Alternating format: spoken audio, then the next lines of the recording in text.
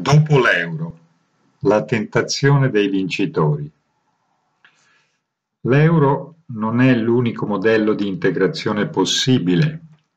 Uscendo dall'euro l'Italia dovrebbe comunque farsi promotrice nelle sedi internazionali di una politica di scambi esteri più equilibrati, basata sul principio che potremmo chiamare dell'External Compact. Questo approccio, che poi descriveremo in dettaglio, può costituire la base per il rilancio di un percorso di integrazione europea.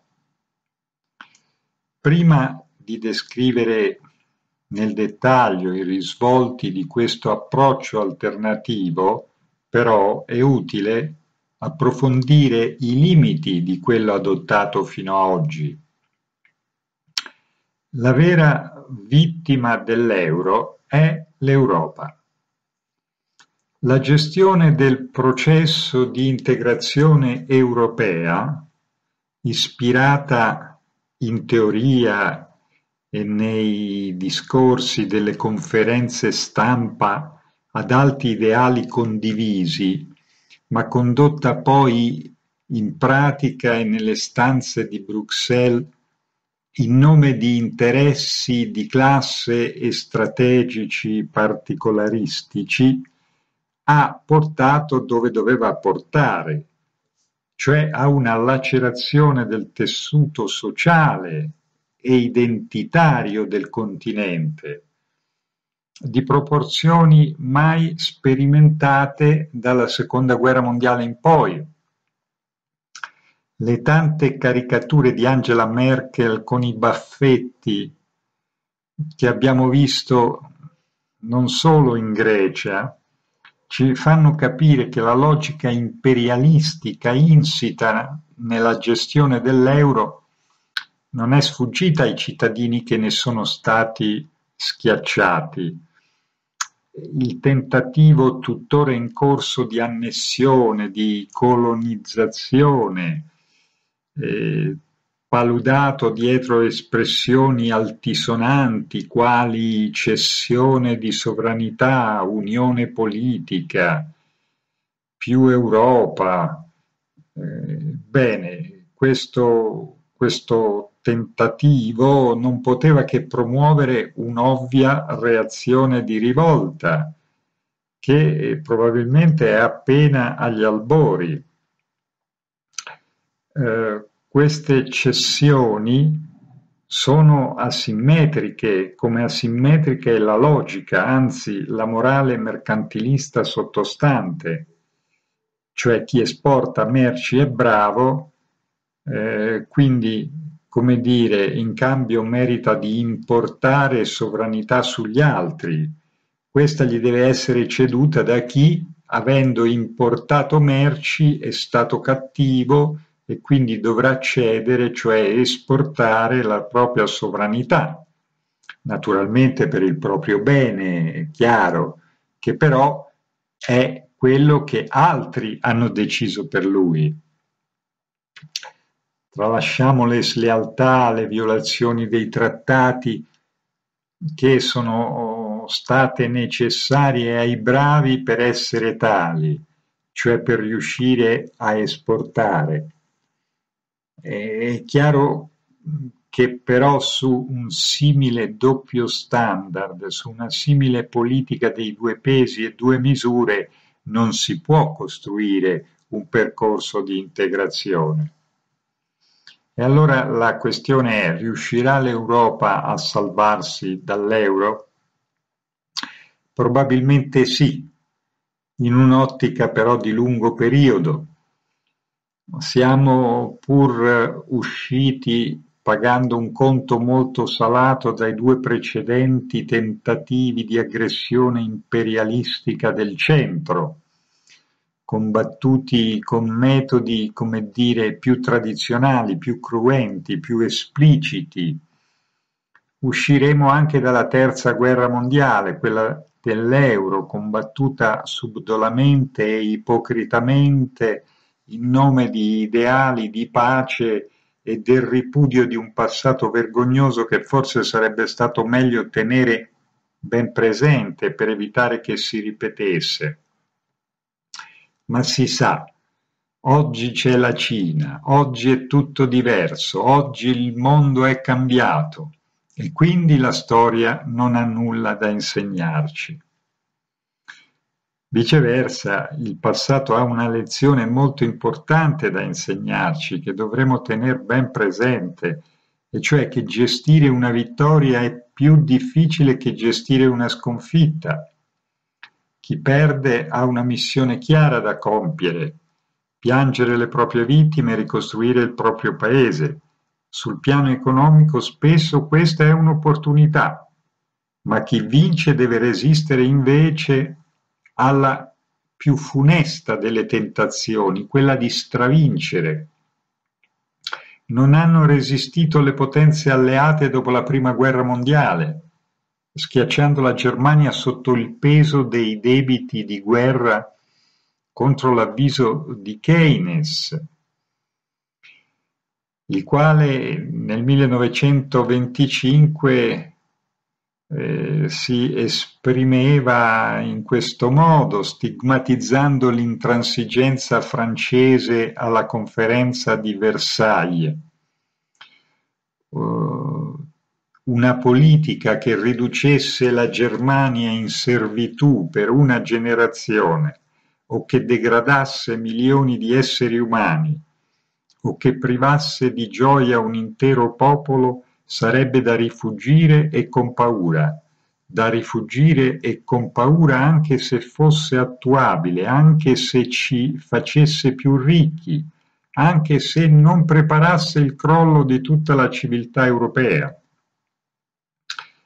Il risultato è noto ed è stato proprio quello previsto da Keynes. Si sono alimentati i risentimenti del popolo tedesco ingiustamente oppresso,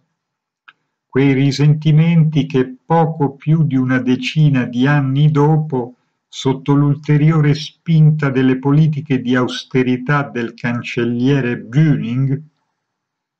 eh, furono sfruttate da, da Hitler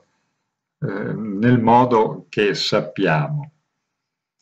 Poi non hanno resistito alla tentazione di stravincere gli americani a Bretton Woods nel millenovecentoquarantaquattro, al termine della seconda guerra mondiale, quando hanno imposto al mondo un sistema monetario asimmetrico perché basato sulla loro valuta nazionale. Questo sistema avrebbe creato problemi, sarebbe stato insostenibile. E prima di Triffin se n'era accorto Keynes, che faceva parte della delegazione britannica a Bretton Woods, ma ancora una volta le sue parole non furono ascoltate e il risultato fu il Nixon shock e le successive crisi finanziarie globali in giro per il mondo, frutto di un sistema nel quale un paese si è arrogato il ruolo di banca del mondo. Finché il sistema monetario internazionale continuerà a basarsi sul dollaro, per evitare una penuria di liquidità internazionale gli Stati Uniti dovranno mantenere la bilancia dei pagamenti in deficit, compromettendo la fiducia nel dollaro. D'altro canto, ovviare al deficit per rafforzare il dollaro creerebbe problemi di liquidità internazionale. E questo fatto determina l'immoralità di un sistema che convoglia una quantità enorme di capitali verso il paese più potente del mondo e li sottrae alla necessità delle tante aree ancora sottosviluppate. E questo sistema ha portato eh, una volta di più su un percorso instabile, la tentazione di stravincere, di imporre la propria moneta ha portato ancora una volta su un percorso di grande instabilità. A distanza di un secolo dalla Prima guerra mondiale la situazione si è rovesciata e la memoria di dove può condurre la cattiva gestione di una vittoria si è persa. Ed è ora la Germania a esigere l'impoverimento e la degradazione di milioni di esseri umani senza ricordare perché e con chi sono stati contratti certi debiti senza chiedersi se chi deve pagare è in condizioni di farlo e quali politiche possono aiutarlo in tal senso, per il bene di tutti, e senza ascoltare le voci autorevoli come quella di Helmut Schmidt, che dal suo interno si levano per stigmatizzare l'assurdità e la miopia di questo comportamento. Per la terza volta in un secolo i vincitori, in questo caso la leadership tedesca, non stanno resistendo alla tentazione di stravincere e così facendo si pongono su un percorso molto instabile in fondo al quale si intravedono due esiti possibili o la colonizzazione dell'intera Eurozona da parte della Germania o l'ennesimo crollo della Germania stessa, travolta dalla propria vittoria di Pirro, ottenuta a prezzo di lacerazioni interne e internazionali. È probabile che presto, nel giro di pochi anni o forse pochi mesi, ci si trovi a dover ricostruire un'idea di Europa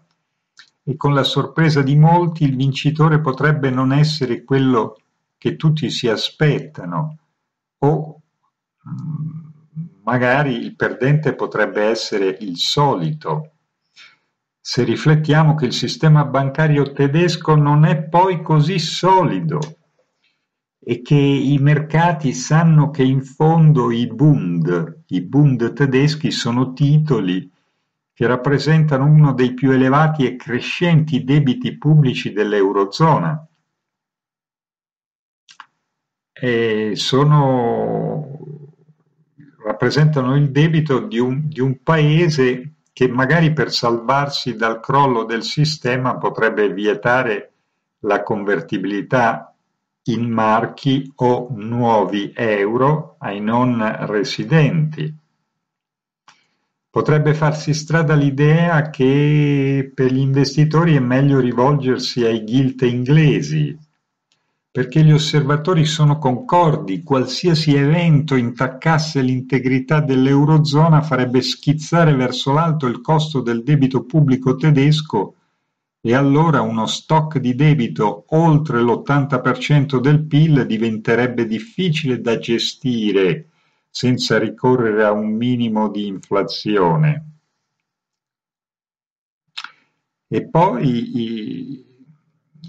i, la strategia di compressione della domanda interna attuata dalla Germania, che è intrinseca nell'approccio mercantilista e che ha represso per anni gli investimenti fissi nel paese,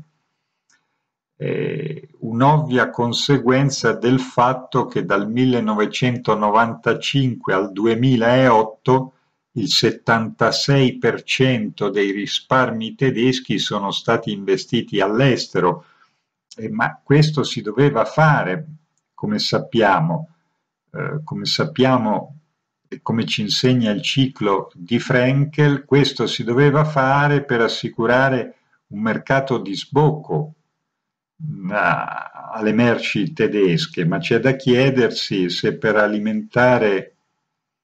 eh, la domanda estera non si sia trascurato di adeguare l'offerta interna. Certo, il problema si può risolvere delocalizzando, ma questo crea a valle ulteriori tensioni sociali nel popolo dei mini jobber, dei nuovi poveri a 400 euro al mese. Cioè, in sostanza, quando il bubbone esploderà, la distinzione fra vinti e vincitori di questa guerra non dichiarata potrebbe non essere così netta. In fondo questa potrebbe essere una buona notizia, e cioè forse per una volta, per la prima volta in un secolo, la mancanza di effettivi vincitori allontanerebbe la tentazione di stravincere. Forse questo è solo un pio desiderio, eh, tuttavia può valere la pena di indicare una possibile eh, strada di reale integrazione. Ma prima di fare questo in dettaglio chiediamoci, ma se avesse funzionato, mm, cosa avevano in mente i nostri statisti, tra virgolette, quando biascicavano peace and love, persi nelle loro visioni euro-psichedeliche a uso delle telecamere e mentre ci consegnavano a questo disastro. Eh, probabilmente avevano in mente un disegno più o meno consapevole, ma comunque leggibile e condiviso su scala internazionale, di controriforma dei mercati finanziari e del mercato del lavoro, a svantaggio delle classi subalterne. Ma eh, mm, questo può essere chiaro, però c'è da chiedersi e come vedevano, come era possibile immaginare il ruolo dell'euro nell'ambito del sistema monetario internazionale? Perché la logica dell'economia e i precedenti storici non lasciavano aperte tante strade. Di fatto le poche strade aperte erano tutte senza uscita, cioè Storicamente l'affermazione di una moneta come standard di riferimento internazionale è successiva all'affermazione economica e militare del paese che la emette ed è strumentale poi alla realizzazione di un'espansione di tipo imperiale della potenza egemone. È stato così per la sterlina dopo le guerre napoleoniche, è stato così per il dollaro dopo Bretton Woods, e su un piano locale europeo anche l'euro ha rivestito un ruolo simile. Eh, l'euro, indipendentemente da quali ne fossero le motivazioni iniziali, ha rappresentato nell'ultimo decennio il tentativo della Germania di colonizzare il resto dell'Europa, assorbendo nell'area del marco diventato euro, paesi fino ad allora mantenutisi all'esterno dell'area del marco, e cioè l'estensione all'intera eurozona dell'esperimento riuscito per la Germania Ovest di riunificazione con la Germania Est. La crisi, scatenata dall'incapacità del capitalismo tedesco di intuire i limiti del proprio modello di espansione mercantilista, ha però reso palese un dato: l'euro è la moneta di nessuno Stato e quindi non è una moneta. I tentativi di costruire poi a posteriori un'identità e una struttura statuale dietro l'euro urtano, come abbiamo detto tante volte, contro una serie di aporie determinate dalle menzogne e dagli egoismi contrapposti del centro e della periferia dell'Europa. Più Europa è un mantra privo di significato, l'euro è già stato giudicato dalla storia e, ed è in attesa del giudizio definitivo dei, dei mercati. Ma se anche così non fosse stato, se la crisi non avesse chiamato il bluff dell'euro, se la crisi non chiamerà il bluff dell'euro, quali sarebbero state le probabili conseguenze per il non sistema monetario internazionale? Detto in altri termini, quanta lungimiranza esprimeva l'idea che una valuta forte concorrente del dollaro ci avrebbe aiutato a risolvere i nostri problemi. Abbiamo detto che ad un primo livello, quello più ingenuo, questa idea si può articolare in due affermazioni contraddittorie, quella che l'euro ci avrebbe aiutati in quanto valuta forte ad approvvigionarci di materie prime relativamente a buon mercato e quella che l'euro ci avrebbe aiutati in quanto valuta grande a competere con le economie emergenti. Però sembra chiaro che se vuoi pagare di meno il petrolio ti tocca far pagare di più i tuoi prodotti finiti. Eh, il dilemma di Triffin ci aiuta eh, poi ad analizzare più in profondità le conseguenze di un ipotetico successo del progetto euro, perché l'euro, affermandosi come secondo dollaro, si sarebbe trovato a dover fronteggiare le medesime criticità del dollaro, in primo luogo la difficile scelta su come dimensionare l'offerta di moneta, cioè se riferirla al mercato europeo o alle aspirazioni di egemonia internazionale. E nel secondo caso l'Europa avrebbe dovuto mantenere la bilancia dei pagamenti in deficit per assicurare una congrua fuoriuscita netta di euro dal sistema europeo, in analogia a quanto accade negli Stati Uniti, ma in Europa questo avrebbe determinato l'esplodere di numerose contraddizioni.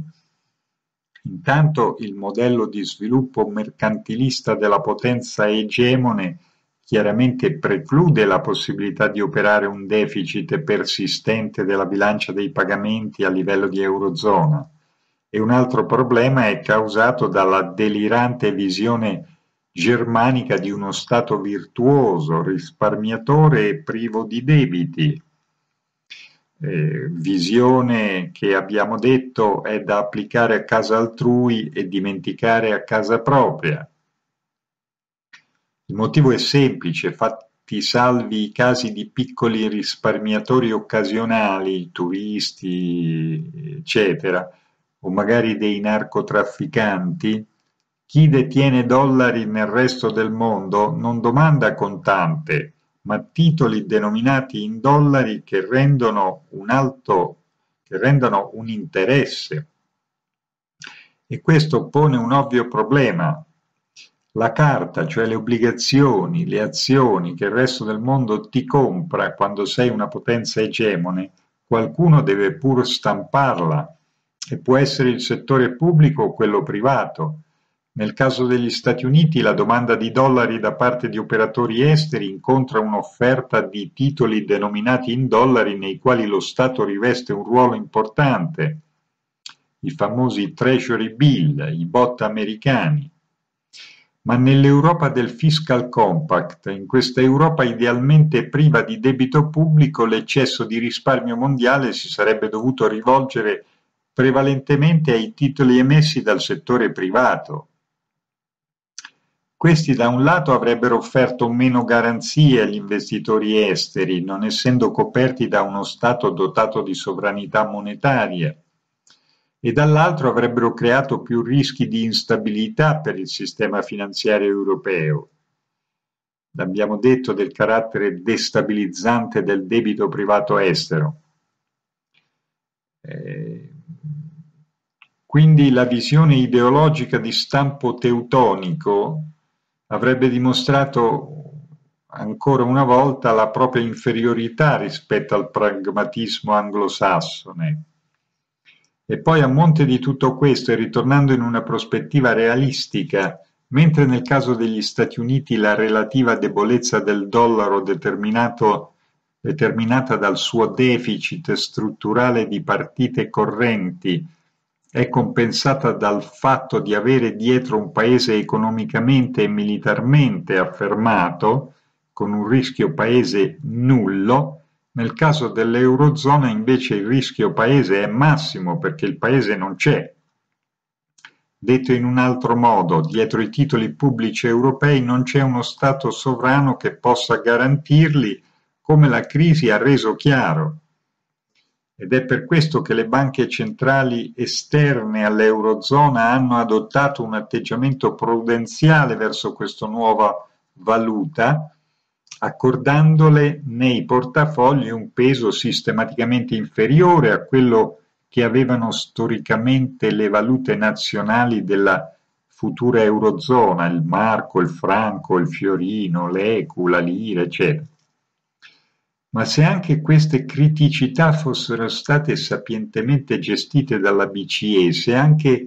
la BCE avesse saputo fingere più o meno a lungo di essere la banca centrale di uno Stato sovrano, quale sarebbe stato l'esito di questa farsa? Quello di avere sul panorama mondiale un'ulteriore valuta forte, richiesta come forma di investimento prudenziale dai risparmiatori delle economie emergenti cioè quello di costituire nei paesi sviluppati accanto agli Stati Uniti un secondo polo di assorbimento di quelle risorse finanziarie delle quali il resto del mondo, a partire dall'Africa, avrebbe bisogno per vaccinare i propri bambini, dare loro acqua potabile e così via. Cosa pensano di questo risultato certi sognatori progressisti tuttora persi nel loro fumoso delirio di un euro che affratellerebbe i proletari di tutto il mondo, anzi eh, di un piccolo pezzo del nord del mondo. La loro visione geopolitica globale snobba, eh, bollandole come sterile tecnicismo, le realtà della macroeconomia la disamina storica che abbiamo compiuto fin qui chiarisce quale sarebbe stato un impegno coerente con certe premesse ideali e ideologiche, quello a favore di un sistema monetario internazionale meno asimmetrico e non di un sistema bipolare che favorisse egoisticamente l'ulteriore distacco di chi è già avanti e forse ancora per poco. Ma perché combattere con dignità la battaglia giusta quando si può perdere con disonore quella sbagliata?